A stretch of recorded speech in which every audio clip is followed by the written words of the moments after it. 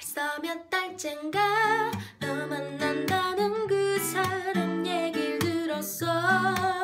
아마 뭔 일 있었나? 첫째 나너 들었다던 신보가 이젠 여기까지 발동해서 널 떠올리게 됐나봐.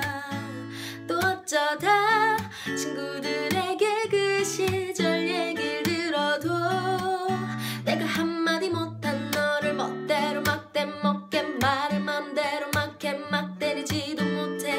자신을.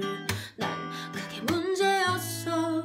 너와 이별에 난 버린 것이 많고 찾을 것이 많고 가는 마음마다 머물지를 잘 못해. 사랑했던 시간 널 좋아했던 그 많은 아픈 날을 걸었네. 너와 이별